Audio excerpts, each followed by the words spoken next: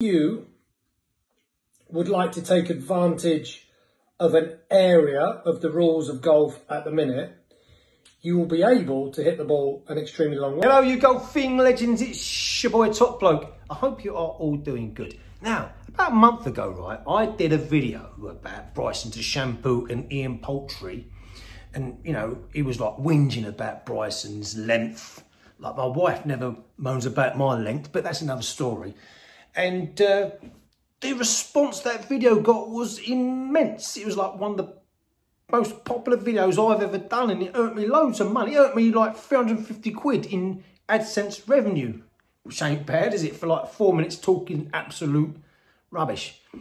Yeah, admittedly, it was a little bit clickbaity, but it got people speaking. I got over like 600 comments. And... None of this is cheating on Bryson's part. All of his jealous, entitled, spoiled babies embarrassed because he's kicking their butts. Good for him. I think what Ian means is that he's a bit miffed that Bryson is better than him. Ha! Um, the general consensus is that Ian Poulter is the most hated man in golf. But more, more than Patrick Reed, I would say. Comment down below, do you think that is the truth? Become a golfer, you hadn't become involved in golf in any way, what would you have done? If you'd had to have a proper nine to five job, I guess the question. Uh, I wouldn't have had a nine to five job. I would have done something where I um, I, I, I don't know, um, nine to. I mean, it's not hard to sort of know why he is because do you remember, like a couple of years ago, he got on a he booked a flight, didn't he, on British Airways, and uh, he's got four kids and a wife and a nanny.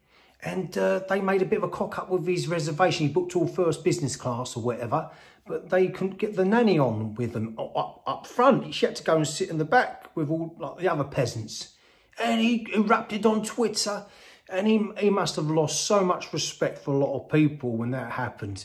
I personally think the main reason why people dislike Ian is that he's always bragging about his wealth.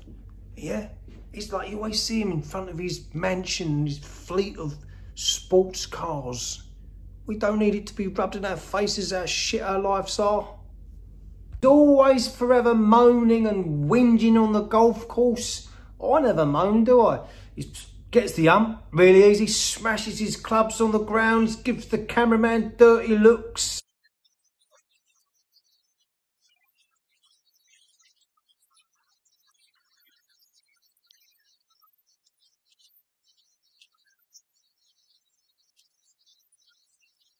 Now Ian, I know you watch all my videos, right?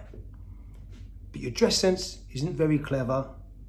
I don't think you're a particularly good golfer. You're coming to the end of your career and you're getting a bit, bit of a bitter old man. You're getting resentful. You're not the young, good-looking geezer you used to be.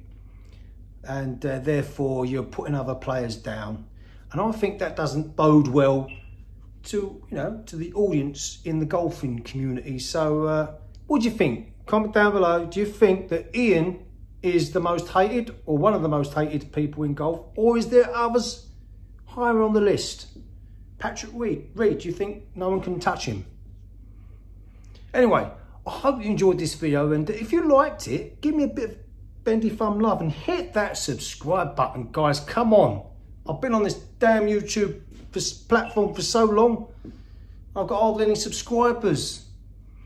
Anyway, thanks for watching. Laters oh, by the way, don't call Americans fat. They don't like it. How many preservatives they put in their bread yeah. is beyond me. That's why you've got giants over there. I mean, you know, you, you should put a bread in the cupboard and come back after two days and it should be growing fungus and all sorts of so stuff.